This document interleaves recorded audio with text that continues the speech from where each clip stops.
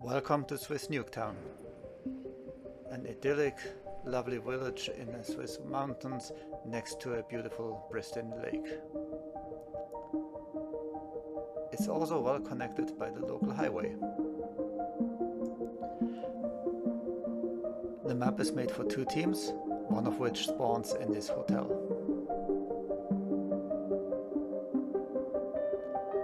Inside you have a restaurant where you can get food and coffee and also enjoy the great views on the terrace. Upstairs there are three luxury rooms with great views of the village. The other team spawns at this wooden construction. It has the kitchenette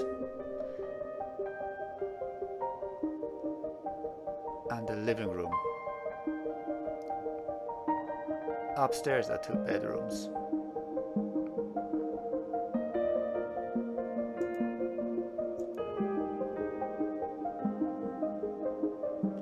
For all your daily needs, such as grenades, shields, health, I recommend to go to one of those two shops.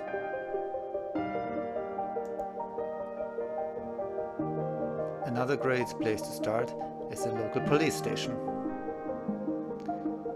Here you not only find vending machines, but in the prison cells there are also a lot of golden guns, an interrogation room, and downstairs a lot of prison cells where naughty players can end up. While you're in the police station, it's also worth to look upstairs and visit the two offices of the local policemen.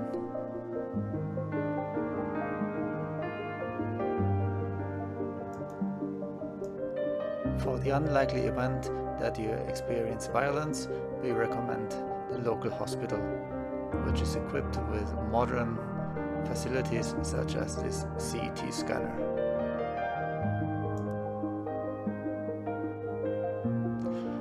Less wealthy players prefer to stay in the budget rooms with two beds. For the richer players, we have on the other side of the aisle some private rooms.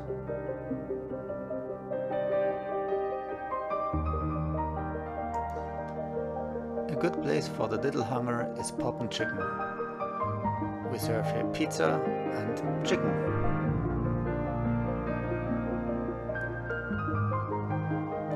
While the first floor may look a little bit small, there are plenty of additional tables in the second floor.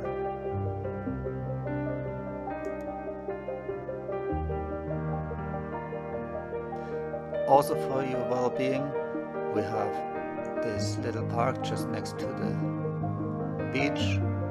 It also comes with a playground and obviously a sandbox. Don't hesitate to use the toilet just under the park, it's well oh, oh yeah.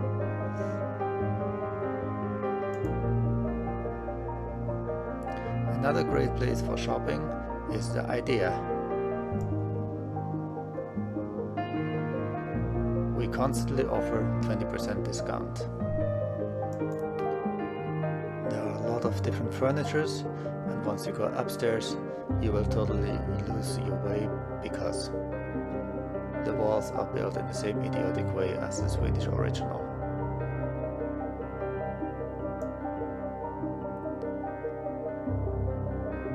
It looks as if the train with new players comes soon.